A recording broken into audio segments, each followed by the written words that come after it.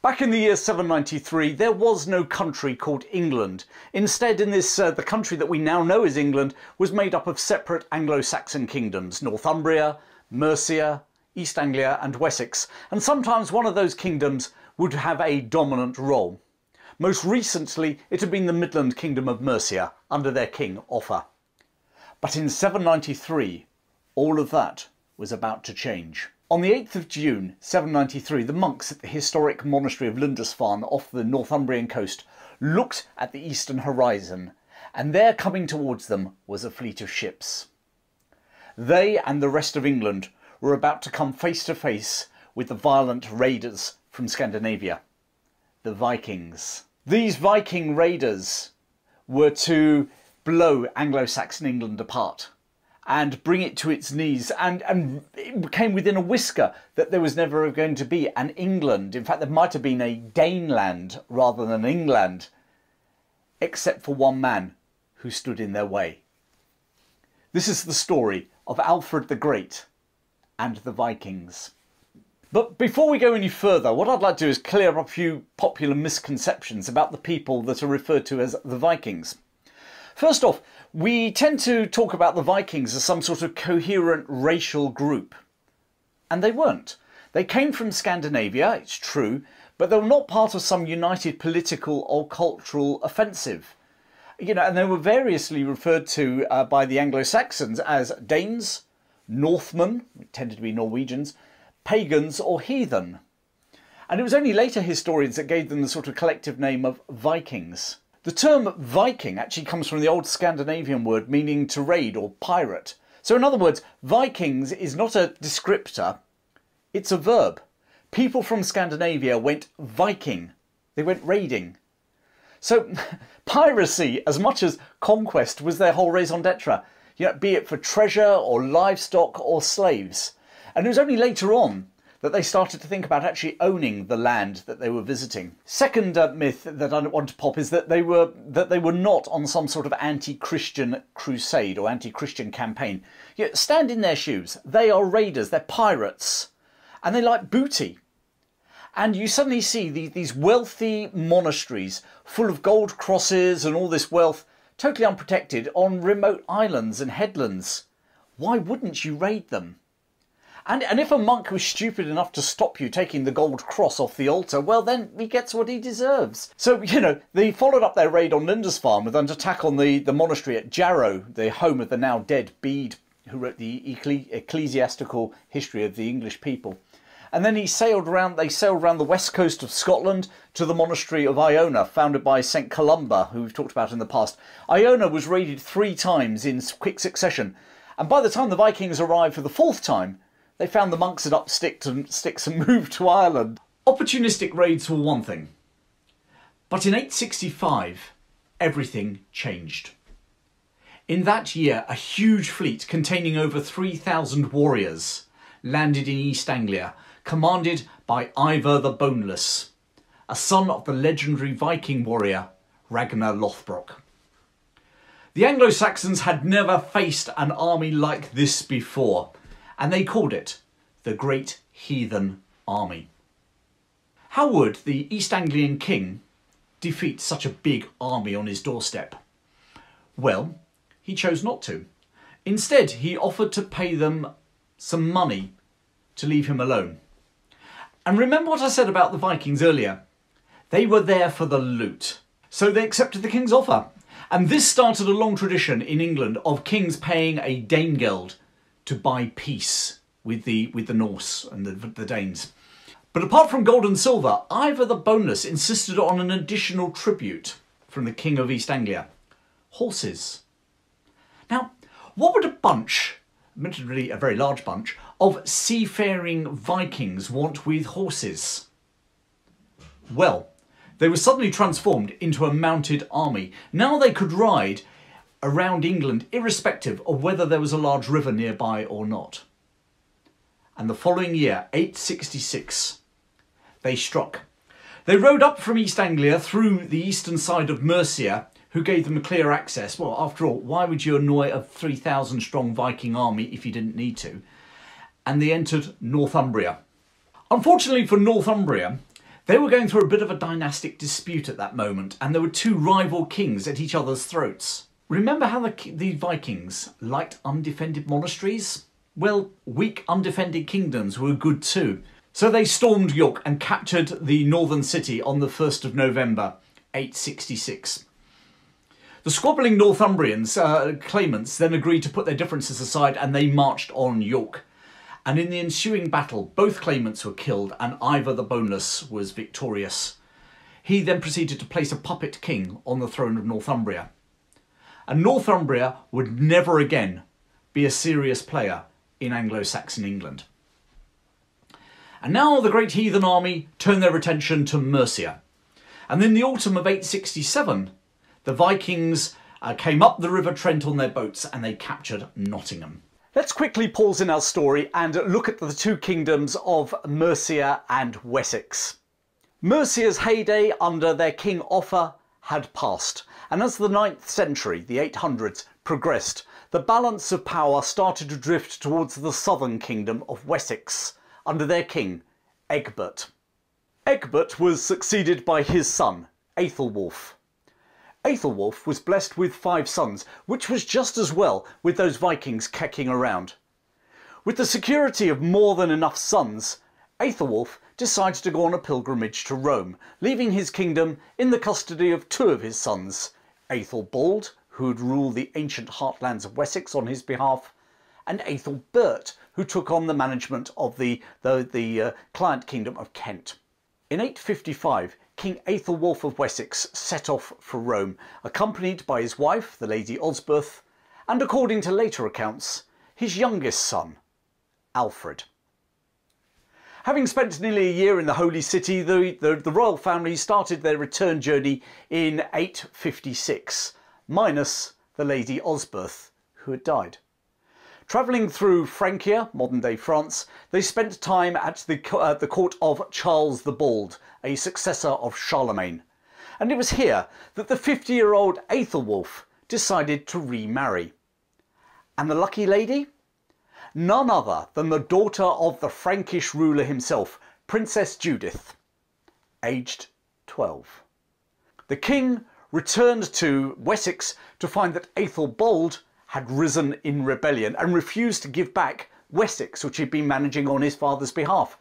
And rather than risk a dynastic civil war, the old king agreed to split the kingdom between his son, ruling Wessex, and he himself took over Kent. Two years later, Aethelwulf died, and Aethelbald not only took over the whole kingdom, but he married his dad's 14-year-old widow. And before this Jerry Springer show could get totally out of hand, he then died of unknown causes two years later, and Judith moved on to husband number three, the Count of Flanders, and she was just 16. Their direct descendant, Matilda of Flanders, was to marry William of Normandy, aka William the Conqueror. And so our current Queen, Queen Elizabeth II of, of Great Britain, is a long lost descendant of sexy Judith. It was just as well that old King Aethelwulf and Lady Osburh had had so many sons, because they had a knack of dying. The oldest son was already dead before their pilgrimage to Rome, and brothers two and three had inherited the crown only to die childless within five years of each other, and was succeeded by brother number four, Aethelred, in 865, just in time to meet the great heathen army. And now the great heathen army turned their attention to Mercia. And in, in the autumn of 867, the Vikings struck from Northumbria and attacked and captured the town of Nottingham. The King of Mercia appealed to his brother-in-law, Aethelred, King of Wessex, for assistance. And Wessex responded. Together, the armies of Mercia and Wessex converged on Nottingham. And accompanying, accompanying Ethelred was his younger brother, Alfred, Prince of Wessex. And when they reached Nottingham, the King of Mercia paid the Vikings to go home, another Danegeld.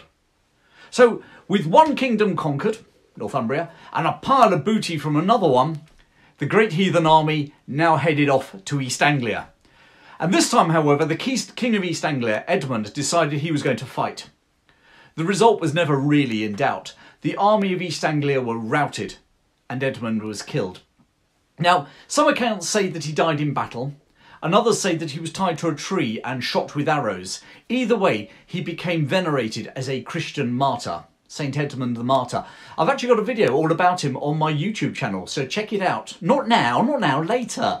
Ivar the Boneless was enjoying himself so much that he decided now to go north and plunder the Brythonic kingdom of Strathclyde. And then he went on to Ireland, where he died in 872. Meanwhile, some of the great heathen army, under another leader called Guthrum, had stayed in Cambridge in East Anglia.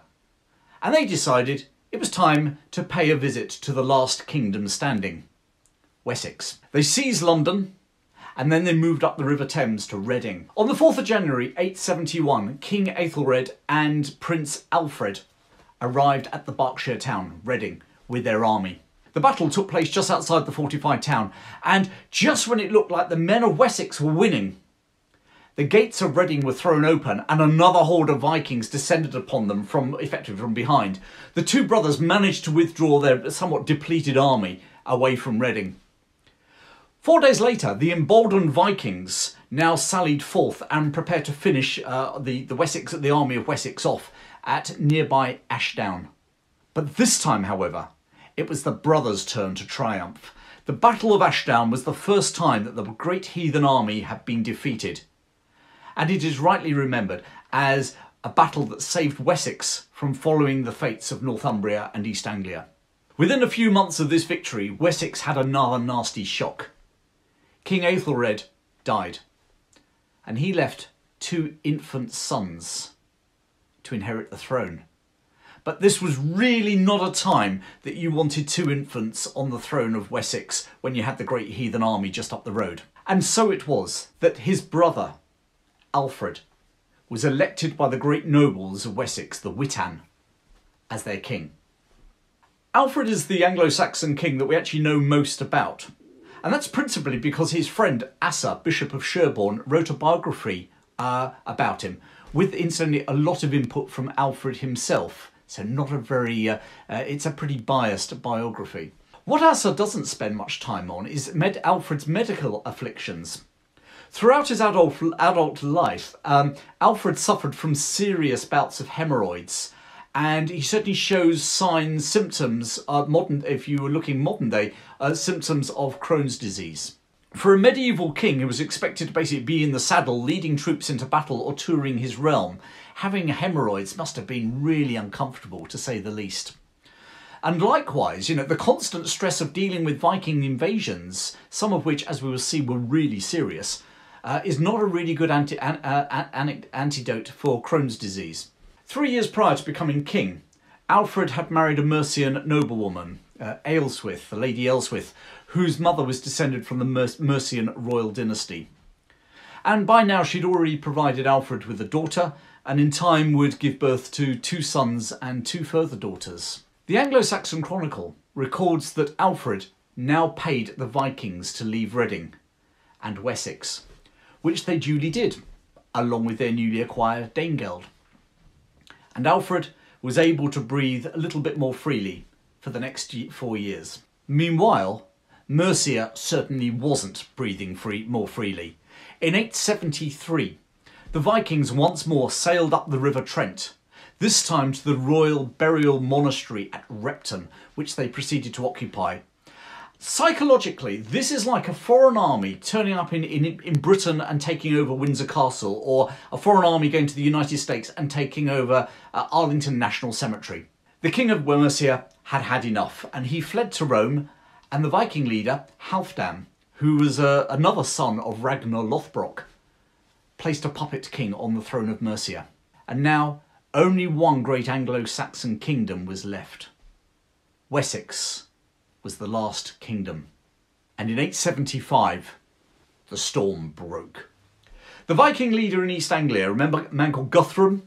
He launched a two-pronged attack on Wessex.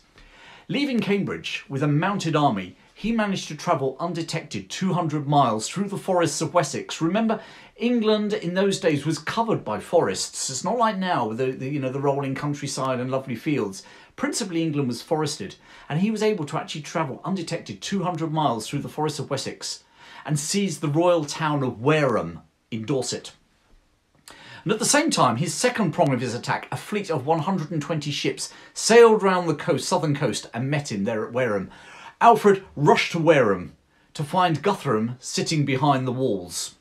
They agreed peace terms, and then under the cover of darkness, Guthrum led a wild cavalry charge out of the town through the Anglo-Saxon lines and rode off into the night.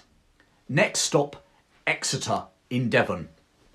Once again, Alfred had to hurry after him, and once again he found Guthrum holed up in one of his own fortified towns. After his two-year tour around Wessex, Guthrum agreed to leave, at a price, and went just over the border, not back to East Anglia, but just into Mercia. And there he waited, and Guthrum didn't have to wait long. Feasting was a major part of the Anglo-Saxon social life. It was the glue that bonded society together, no more so than between the king and his nobles. And in the Anglo-Saxon culture, the 12 days of Christmas was not just a Christmas song, it was the party of the year. 12 straight days of feasting. And Christmastide 877-78 was no exception. Alfred and his court moved to the royal manor at Chippenham in Wiltshire for the festivities. And you can just imagine just how much feasting and drinking there must have been.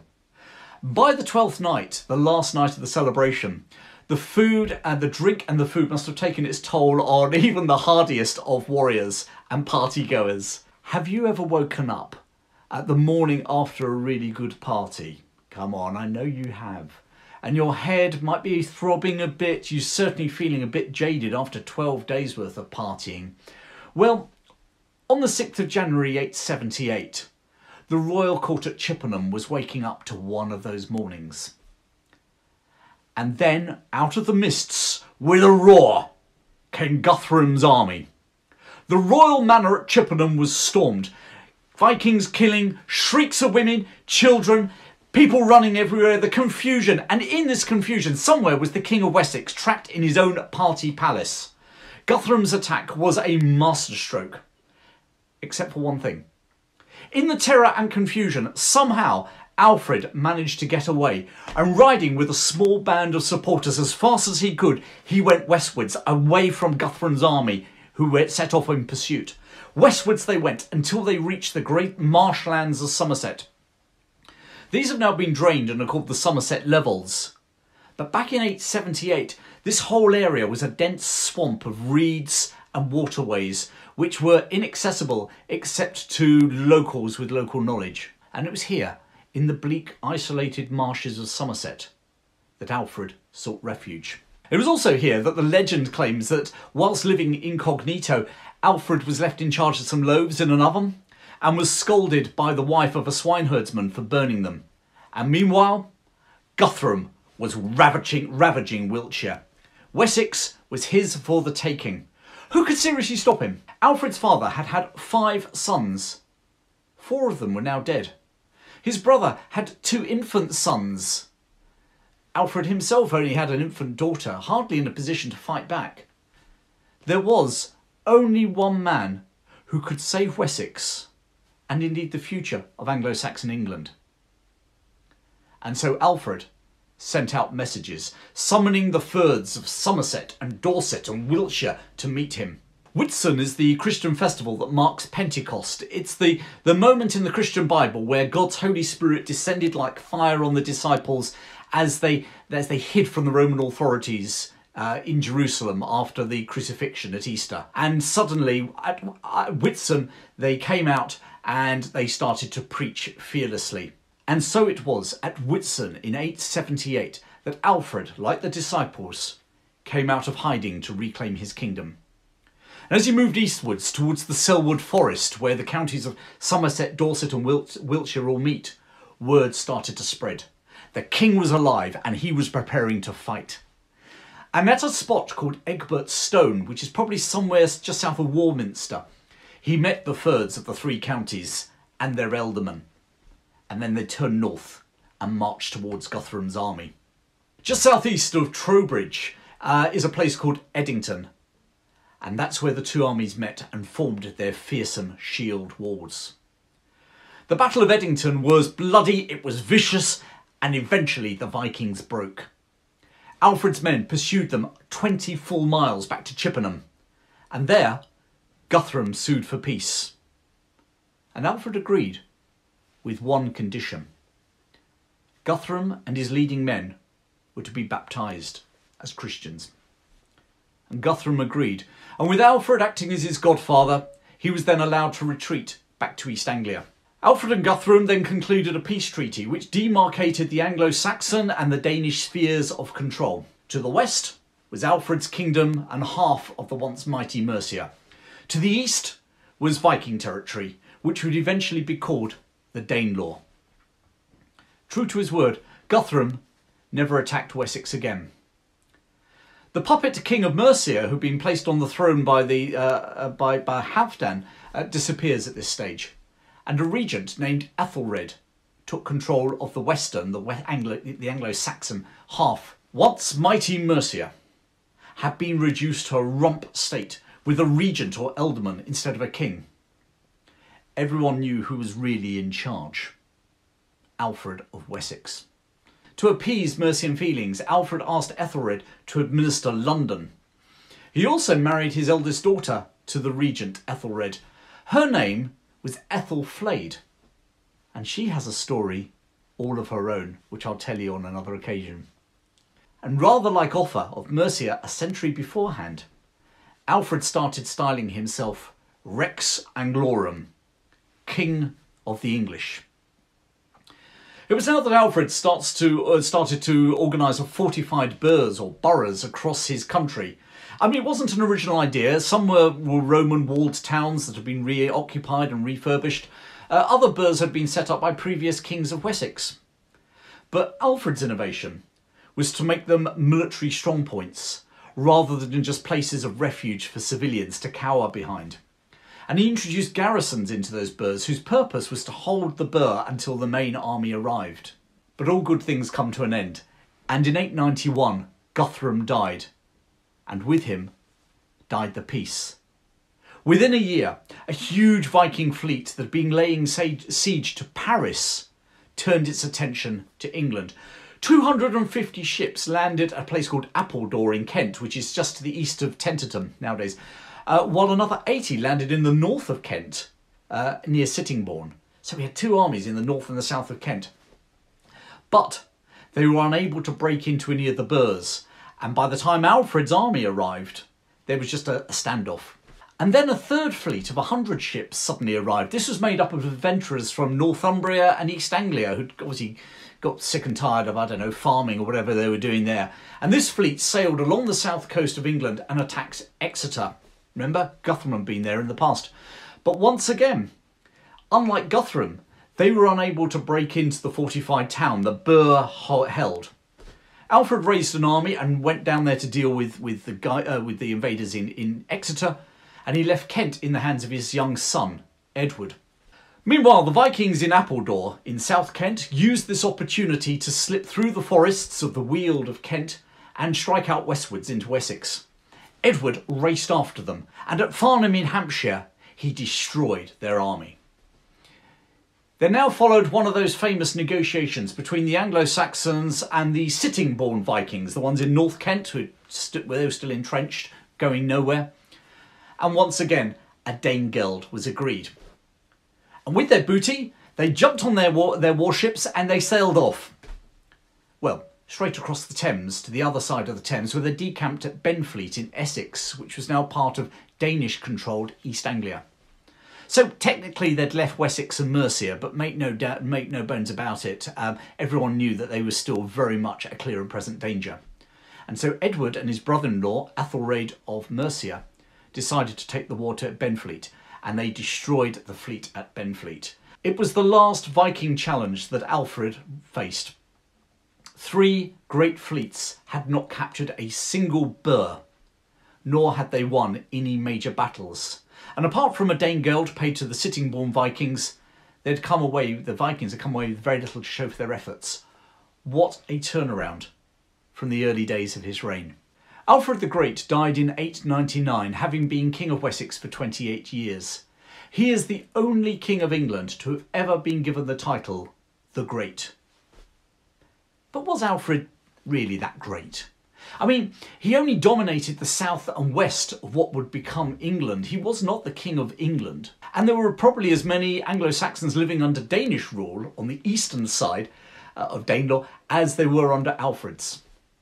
Mercia was still technically independent of Wessex. I mean, really, Alfred was King of Wessex, well, and Kent and Sussex. Alfred was the Winston Churchill of his age. I don't remember, there was a public poll by the BBC um, in the early 2000s, and Churchill was voted the greatest Briton for saving Britain from Nazi tyranny. Alfred was the last man standing in the way of Scandinavian domination of England, and indeed, therefore, I think, the rest of Britain. His own royal palace had been captured. He was a fugitive, hiding in the marshes of Somerset. And then he had rallied, he'd fought back, and then he'd secured his kingdom against further attacks. And if Winston Churchill can be voted the greatest Briton, then for all those achievements, I think Alfred probably deserves his accolade of being the great. But his work and ambition to form one single kingdom of the Anglo-Saxons, England, would need to be completed by those who are coming after him. Right, to hear more stories in the future.